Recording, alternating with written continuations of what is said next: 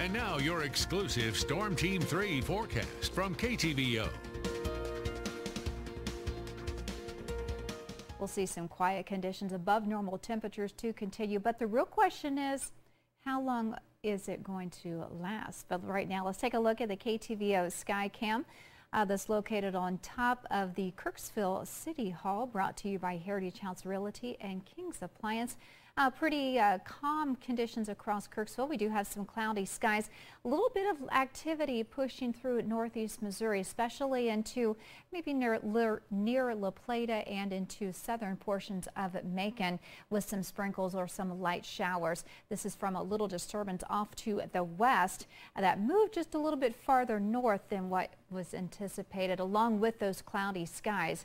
Uh, so those cloudy skies will continue as we're heading into the evening hours. We'll start to see a little bit of decreasing though to partly cloudy as we're heading into the overnight. But those temperatures right now, that's what we're going to be talking about this week. 46 degrees right now at the Kirksville Regional Airport. Southwest winds around 7 miles per hour. Ottumwa looking at 45 degrees. Southwest winds around 11 miles per hour. So we have seen some very brisk winds over the last couple of days. Uh, we will remain out of the southwest for tonight around 5 to 10 miles per hour. Those winds are going to be switching to the northwest as we're heading throughout the day on Wednesday with gusts up to 24 miles per hour. We've already seen a grass fire for today.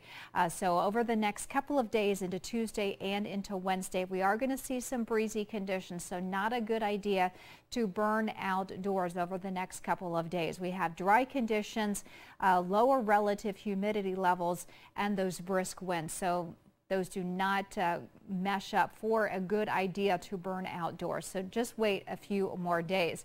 Uh, those northerly winds are going to be bringing in just a little bit cooler air as we're heading into tomorrow night and into Wednesday. But for tonight, temperatures are dropping down only into the 30s for tonight. We're back up into the 50s for Tuesday, 20s for tomorrow night, and into the 40s. Still not too bad for Wednesday. What we can expect over the next 12 hours, temperatures to fall about 34 degrees at 3 in the morning. By 7 a.m., we're looking about 32 degrees with partly cloudy skies. 31 degrees as your overnight low. Our average for this time of year is about 18 degrees. That is well above normal for this time.